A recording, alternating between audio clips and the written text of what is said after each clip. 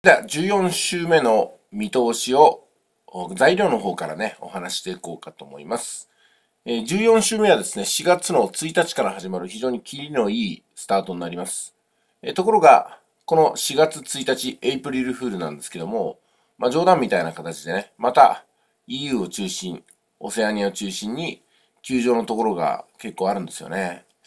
で、えー、アメリカと日本は休みじゃないんで、通常通りトレードの方をしていけばいいんですけども、ところがですね、ここに日銀短観と四半期大企業製造業業況判断っていうのが入ります。これなかなか耳慣れないと思いますけども、ちょっとこの辺についてだけ説明をしておきましょうか。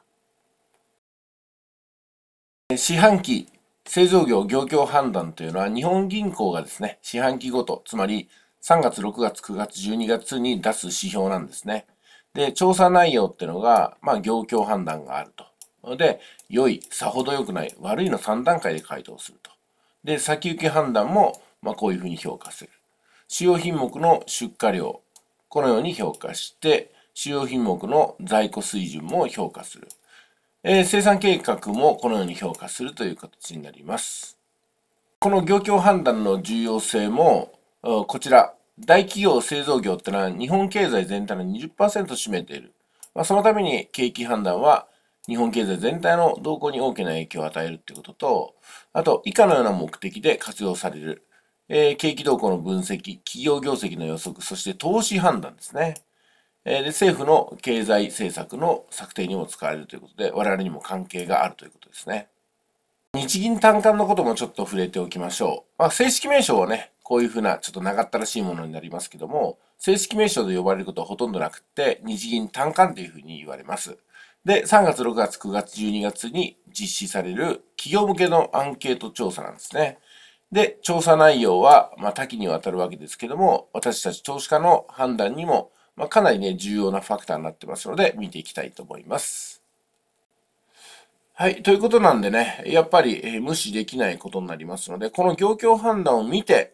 それから9時半なり10時、10時半ぐらいですかね、そのあたりまで、えー、この様子を見ながらですね、トレードを考えていくということになります。まあ場合によっては午後から、あこのね、チャートの方を見ていけばいいような形になります。大きく乱れる可能性ありますんでね。で、プラス、やっぱり月曜日であるってことと、あと月初であることね、月の始まりであるってことを考えると、月曜日は完全に見る一日にしてもよろしいかと思いますよ。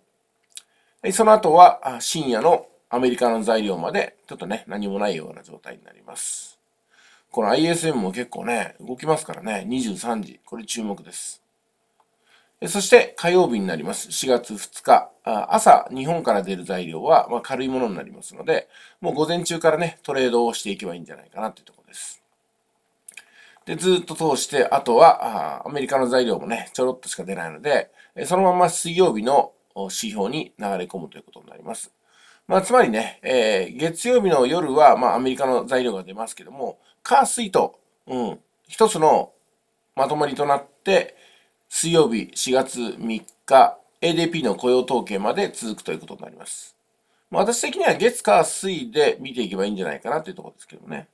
えそれから木曜日の朝、そういうか深夜ですかね、2時ぐらいですけども、パウエルさんがまだ何かね、発言されますんで、え月、火、水っていう塊と、あと木、金っていう塊ね、えー、14週はこの2つのグループに分かれるんじゃないかなっていうところです。はい。で、木曜日は、やっぱ休場がありますね。うん、やっぱ年度の始まりですからね、こういうことになってるんでしょう。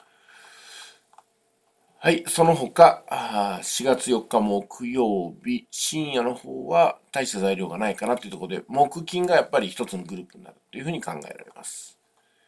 で、金曜日は、えー、こちらの方にね、材料が並ぶよってことになりますね。